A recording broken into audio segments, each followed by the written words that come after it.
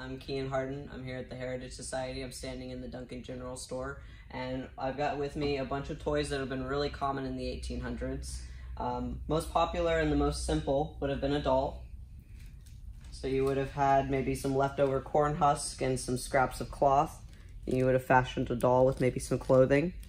Another popular one would have been what's called a church doll, which is where you take a cloth and you stuff it full of scrap scraps and you tie it at the neck. If your mom was feeling creative, she could have sewn a little face onto it. And the thing with this doll is that if you dropped it in church, it didn't make any noise, hence the name. Uh, another really popular toy would have been the buzz saw. It's where you take these strings right here, hold it out in the middle, and you just spin it really fast. And I find the trick is that once it starts to kind of pinch your fingers, that's when you know it's ready, and you can kind of Makes a really cool noise. Probably a, a still very popular toy from this time is going to be Cup and Ball.